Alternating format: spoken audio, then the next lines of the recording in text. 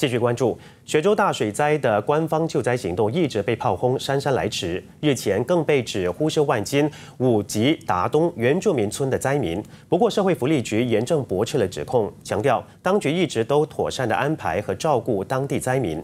社会福利局发文告指出，原住民村灾民原本是由原住民发展局安排到五级达东国小避难，但是随后灾情恶化，这个临时救灾中心也被大水淹没，因此天灾行动。控制中心劝请灾民转移到拉伯汉达冈国小救灾中心，不过有部分的灾民不愿意离开家园，当局也尊重他们的决定，并在当地度假村设立帐篷安置他们。